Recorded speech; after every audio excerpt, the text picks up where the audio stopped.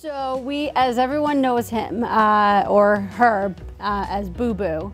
Uh, we started getting sightings of Boo Boo in the Hanson, Halifax area.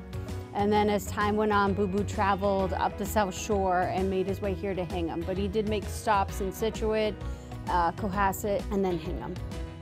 The number one thing that we tell everyone, if you do see a bear, just like any other wild animal, give it its space.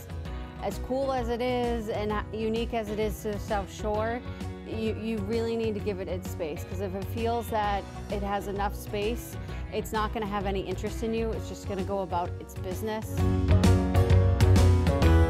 And then once you give it its space and you're in a safe spot, then you can call uh, myself or whatever town you're in, local animal control officer, or even the police department, and either myself, uh, an officer, or the environmental police will be sent out to monitor and see what's going on with the bear see if the bear is healthy, if it's doing what it should be, if it's acting aggressive, and then make a determination from there if we're going to allow it to continue on or if we need to take um, other measures like tranquilizing it and removing it. But so far, this bear that we've had in our area has been very docile and sticking to his or herself.